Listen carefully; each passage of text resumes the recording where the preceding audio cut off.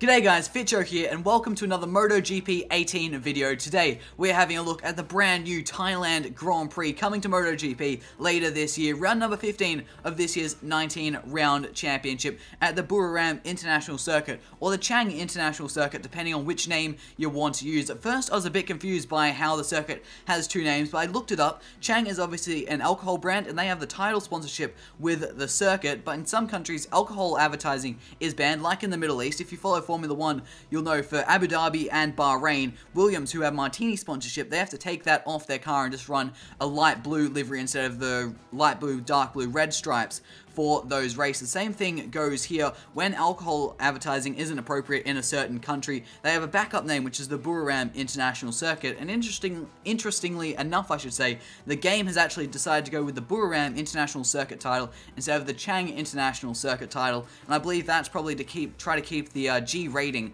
on the game. But interestingly enough, the commentator in game in the sort of intro to this race actually says the Chang International Circuit. But that's enough history about the two names for this one circuit. We have a race on our hands, a chance to look at the brand new track coming to MotoGP this year. If you guys follow World Superbikes, you will have seen this track in action a couple times. I think they've been racing there since 2015, but this year is the first year for MotoGP. And thanks to the brand new MotoGP 18 game, we can go there, have a race with this year's MotoGP field, and see what things are going to be like before the bikes actually hit the track in anger later this year. So here we have a quick overview of the Chang International Circuit. It is 4.55 kilometers long. It is 12 meters wide, which is very, very wide. And at points, you will notice just how ridiculously wide the track is. You got five corners to the left, seven to the right, and one kilometer worth of straights. So before we get into today's race, I just want to take you guys on a hot lap of the Chang International Circuit to show you guys the layout and see a bike around here by itself in anger.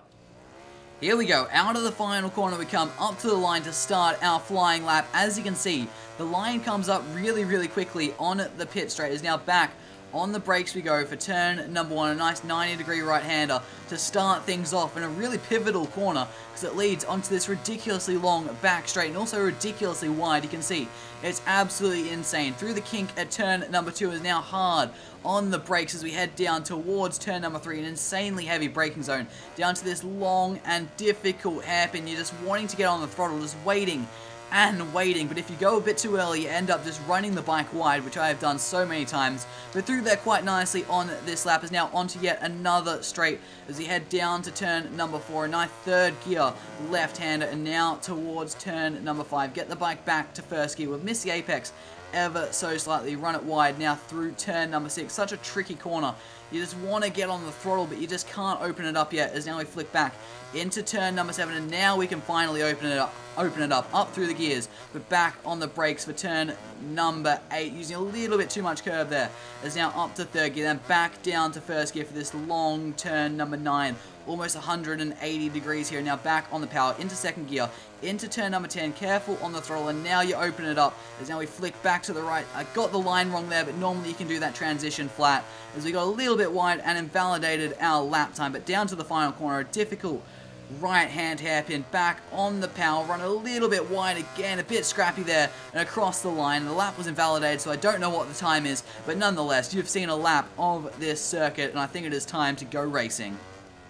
So I've actually just noticed something while I was switching over to the race. If you look on the right hand side of the screen, it says that Jack Miller rides a GP18 bike, but that's not true. He's on the GP17 bike, a year-old bike, whereas Petrucci is on the GP18 bike, so that's a little bit of an issue. I'm not sure if the way they've programmed the game that that's attached to the uh, Pramac Ducati team because one bike is the GP18 and that's why it's listed or it's attached to the individual rider, in which case there is a mistake there. But nonetheless, we're getting ready for a three-lap race around the Chang or Buriram International Circuit in Thailand. As you can see, I'm riding as Jack Miller. I'm not sure if I mentioned that. If you haven't already been able to tell, I am Australian, so I'm riding as the Australian, as a proud Aussie, of course. We're going to be starting last as well, just to spice things up a bit. Let's do it. Hello everyone from the Chang Circuit where the Thai round of the Moto3 Championship is about to start.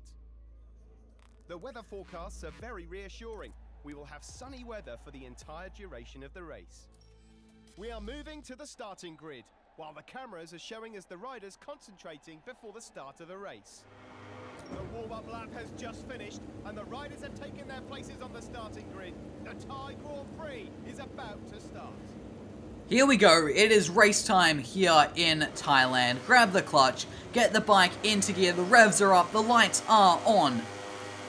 As lights out, and away we go. The Thailand Grand Prix is underway, and it's not been a good start from ourselves at the back of the field as we head down towards turn number one. Can we get up the inside of Tom Luthi? Yes, we can. And now back on the power. We get an amazing exit out of turn number one onto the back straight as we are getting a lot of positions. Up next, we have Valentino Rossi in 14th place just in front of us. Is now hard on the brakes we go for the turn three hairpin. We're already up into 15th place, but Scott Redding just shoves his Aprilia up our inside, but onto the power nice and early on the outside of turn 3, and we get a nice run past Rossi now, as who is that just in front of us? That is Tito Rabat, as we head down towards turn number 4. We're going very late on the brakes up the inside of Jorge Lorenzo, and we make that corner quite nicely. It seems like the AI were a little bit early on the brakes. As now we're already on the back of our teammate on the brink of the top 10. Danilo Petrucci just there in 10th place through turn number 6 as now we flick back to the right for turn number seven. Back on the power we go up through the gears and now back on the brakes. Can we try to get a nice sort of late apex, get up the inside of Petrucci into this next one? No, we can't. We've actually gone a little bit wide and a little bit deep and he's left the door on the exit. No, I can't quite get on the power as the bike is bucking and weaving there, trying to pull a bit of a wheelie as Jorge Lorenzo, the Honda-bound man, is trying to sneak up our inside is now down to the final corner we go. A very tricky corner, I find. This one's very, very tight. And now back onto the power we go to end lap number one of three here as Dovi is leading from Dani Pedrosa. Is now back on the brakes we go for turn number one. Try to get a nice exit out of here. A fair bit of wheel spin there as now going to jump into the slipstream of our teammate Danilo Petrucci down the back straight through the kink at turn number two, and we didn't get a good as good an exit as we did on lap number one, but hard on the brakes. Can we gain a little bit of time on our teammate? Yes, we can as now try to hold it tight.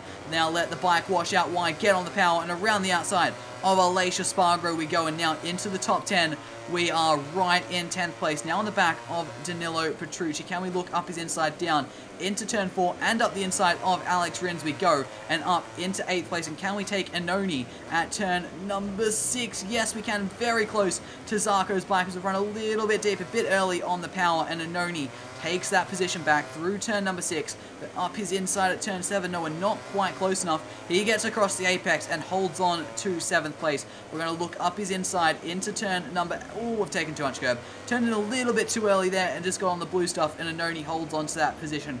Rightfully so, as now Alex Rins is trying to get back up our inside, and he's going to do that as we ran very, very wide through turn number 9. Now flick it back to the right through 11 and one corner to go before we start the final lap of this three lap race. Here we go, onto the final lap we go. Dovi is still leading from Pedrosa's down to turn number one. We go up the inside of Alex Rins, who's going very, very slowly into that corner, and we just take that position very, very nicely into 8th place, as now we're in the slipstream of Andrea Iannone down the back straight. Can we look up his inside down into turn number 3? Such a heavy braking zone at Ah, we've just been clipped by Iannone. It seemed to work so well at first. We are just going to use a cheeky little replay there. Nobody saw anything. No one saw us losing the front end as we tried an aggressive move at a very tight corner up the inside of Iannone. And we're just going to sit behind the Italian through turn number three and try to get a nice exit. Maybe try something at turn number four as we're getting very loose with that rear wheel. Getting a bit too aggressive on the power and on the curb. And we don't get the exit that we wanted is now down towards turn number four. We found we are quick through here compared to the AI, and hopefully we can gain a little bit of time on Iannone. It's going to be interesting to see where he actually ends up, ne up next year as we went in a little bit too deep is now too aggressive on the power. As you can see, I'm still very much getting used to this game. Of course, this is release day. I've only had my hands on the game for a few hours. I've done a few three-lap races and one career mode race. But of course, that's only on a Red Bull Rookies Cup bike, so the traction isn't something I have to think about in that. So it's taken a little bit of getting used to as now we only have a couple corners left. Can we possibly get a nice run through the next two corners to try to get past Iannone and get 7th place. We are nowhere near close enough, I don't think, because we have one corner stand between us and the checker flag, hard on the brakes. Can we try it up the inside? That's a little bit aggressive and that's just not going to work and it really shouldn't. Could we get a nice exit? Not quite. We come home in 8th place. A decent race there, I would say. So there we go, the final results. Andrea Dovizioso wins the race, Marc Marquez coming home in second, Dani Pedrosa third, Cal Crutchlow fourth, Viñales Zarco and Iannone in fifth, sixth and seventh, myself, Jack Miller, all the way up in eighth place after starting in last. I said a 130.6, which is only three tenths of a second off the fastest lap of the race set by Dovi, a 130.399. Then Alex Rins just behind us, and I think our teammate in 10th, Danilo Petrucci, yeah, finishing in 10th place. So that was just a quick, let's just jump up the replay while I just have a random chat about this track. So that was a three lap race around the brand new Buriram or Chang International Circuit, which is coming to MotoGP this season. Like I already said in the intro, round 15 of 19 in this year's championship. And the first time it is featured on the MotoGP World Championship. And as you can see watching this replay just how ridiculously wide the track is on that back straight and through that little kink at turn number 2. Turn 3 it's insanely difficult to get the bike stopped down there on the game. And I can only imagine it's going to be so so much more difficult in real life. Sort of a bit like Mugello turn 1 but even almost a heavier braking zone than that it feels like from playing. I've, I've done some racing on Mugello here as well but I feel like Turn 3 here is almost a bigger braking zone than Turn 1 at Mugello or Qatar, for example, turn 1. Those braking zones are insane, but this, turn 3 is absolutely mad. Uh, after that, you got another nice straight. Turn 4 is actually quite fun. I found the AI a bit slow through there. Then you get into the tricky technical section. You got turn number 5, which I've every lap I've gone deep there. I cannot get the bike stopped. I cannot work out where to brake quite right. Then turn 6, that next left-hander, you're just so tentative on the throttle. The bike just wants to get out from under you. And you can't let the bike then wash out wide as well. You have to sort of manage your speed through there and your line to then flick it back to the right 4-7, which has got a double apex, which proves a little bit tricky. Then you've got the fast right, oh not fast, but second gear, fairly quick. It's like a 70 degree corner, I'd say. At turn number 8, I should say. Turn 9, you got almost a hairpin there. Then you got that left hand, you just want to get on, back on the power as soon as you can. And the quick flick to the right, and then down to the final corner. Key overtaking point to definitely turn 3. And I'd say the final corner, turn 4 into 5 possibly if you get a really nice run because that is coming off a long straight and turn 1 can be as well but nonetheless it looks like an exciting track and I can't wait to see MotoGP visit this place in real life. MotoGP makes every track look good. I absolutely love the action in it especially as a Formula 1 fan at first now becoming a MotoGP fan over since 2015, MotoGP just never disappoints compared to what F1 does, and I cannot wait to see a brand new track on the MotoGP calendar. So that is going to do it for today, guys. That was a first look at the Chang or Buriram International Circuit on MotoGP 18. I hope you guys have enjoyed this video. If you did, make sure you do smash that like button. If you guys are new to the channel, make sure you do subscribe as well for much, much more MotoGP 18 content. Thank you guys so much for watching, and I'll see you all next time.